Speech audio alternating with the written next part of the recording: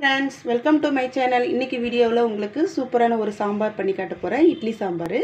நீங்கள் ஆஃபீஸ்க்குலாம் போகணுன்னா இதை டக்குன்னு இதை செஞ்சு முடிச்சிடலாம். இது ரொம்ப ஈஸி சீக்கிரமாக பண்ணிடலாம். அதுதான் சுழுவாக உங்களுக்கு நான் பண்ணி காட்ட போகிறேன் இப்போ அதுக்கு தேவையான பொருள் தேவையான அளவுக்கு பச்சை மிளகா தக்காளி தேவையான அளவு.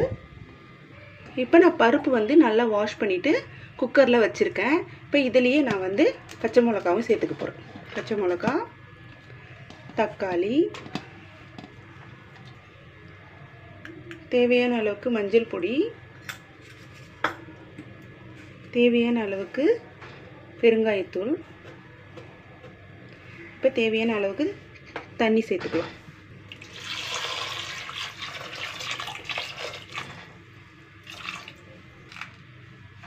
உப்பு தேவையான அளவு சேர்த்துக்கலாம். பாருங்கள் இப்போ பருப்பு நல்லா வெந்துடுச்சு. இப்போ நம்ம தாளிப்பு போட்டுடலாம். இப்போ ஒரு கடாய் வச்சுக்கோங்க. அதில் கொஞ்சம் போது வெந்தயம் போட்டுக்கோங்க. அதுக்கப்புறம் கொஞ்சம் போது ஜீரகம்.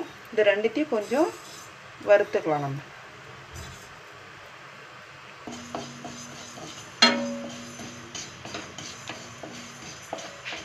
நல்லா மிக்சியில் பவுடர் பண்ணி எடுத்துக்கோங்க.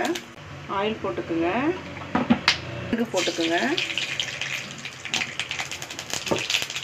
கடுகு பொரிஞ்ச உடனே இப்போ நம்ம இந்த சாம்பாரை பருப்பை கடைஞ்சி அதில் ஊற்றணும் பருப்பை கொஞ்சம் நல்லா கடைஞ்சி அதில் ஊற்றிடணும் அதில் சேர்த்துக்கணும்.